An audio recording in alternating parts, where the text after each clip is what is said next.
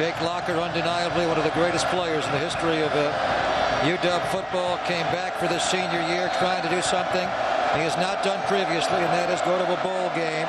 His team is down a field goal with four and a half to play. They've got to win this game to become bowl eligible. Here goes Jake in the flat to the fullback. Nice catch made there by Austin Sylvester. An offset out of the right. Polk the tail. Bubble screen. Kearse. Block from Aguilar is spilled shy of the first down. He may have lost the ball. They say down by contact. Ball came out, but he hit the ground. Nice tackle there by the cornerback, Darian Hagan. Hagan's had an interesting year, been in, it, in and out of the starting lineup. Let's take a look there as he goes low. Upends Kearse. Now he's down.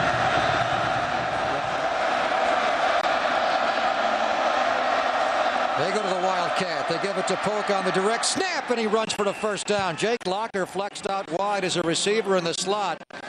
And they direct snapped it to Chris Polk, and he picks up the first down. But obviously more problematic. High formation behind Jake. Locker's going to throw. And he's going to throw deep.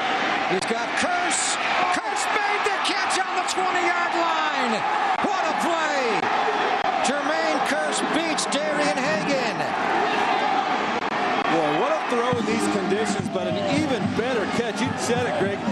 He fights back to the inside. Jake Locker leaves that ball to the inside, and he fights back over Darian Hagan, and a big catch by a big-time receiver. He was a triple jumper, a track star growing up in Lakewood, Washington. What a great play that was to just go get the football. Now they're in field goal range. See if they can work the clock down. Two timeouts remaining. UW three. Collier gets out on the wing. Nice open field tackle made there by Chris They would take either, but they would much rather have a touchdown here and not have to go to overtime. Second and five. They have three receivers to the field side. Quarterback draw. Jake going to run the umpire over if he doesn't get out of the way. First and goal. Washington on the Cal six and goal from the seven-yard line. 97 seconds to play. Locker's in the gun. Kearse is to his right. Goodwin left. They empty the backfield now. Polk the back goes out wide right. Locker's going to run for it. Jake Locker bangs it down to the two-yard line.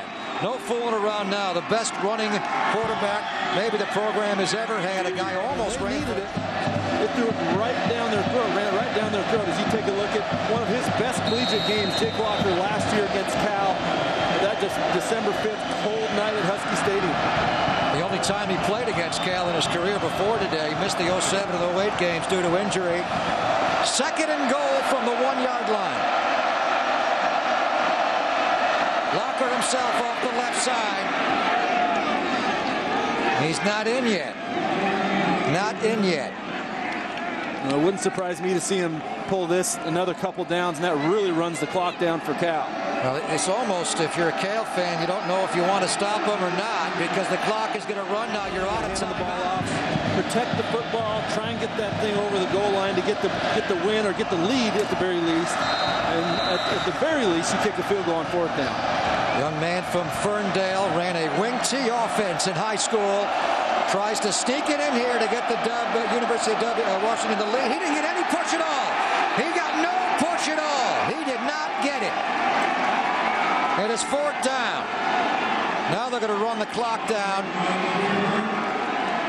and kick the field goal to go to overtime, you would think. Or will he go for the win? Steve Sarkisian is on the field. He's on the numbers on the 20-yard line. He's on the field. He's going to call another timeout and talk about it. Does he want to play quarterback? Yeah.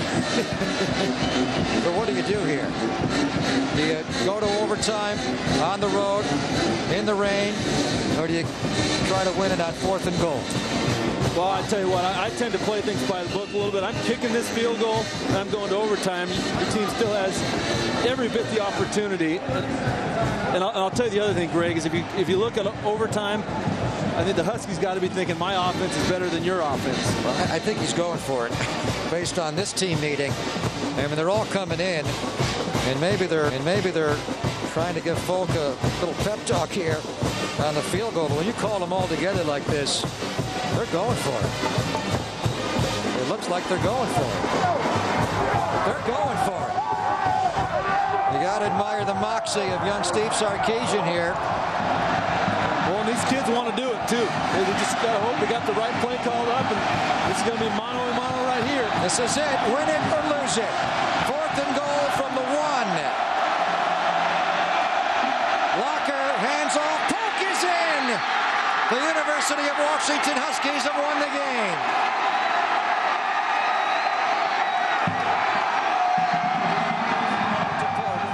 And he kind of walked in there off the right side. Yeah, great push. You saw Daniel Kanczugowski in there. Erik Kohler, the true freshman at Oaks Christian. And Austin Sylvester, no doubt about it. The Huskies wanted it. They got it. And a great way to propel themselves into the Apple Cup. You got to admire what Steve Sarkisian did, electing to go forward on fourth and goal, eschewing the tying field goal to go to overtime. Well, especially after especially after that third down play too, Greg. I mean, Cal defense absolutely scolded Jake Locker on that quarterback sneak, so they controlled the line of scrimmage, and Washington went right back at him, went over the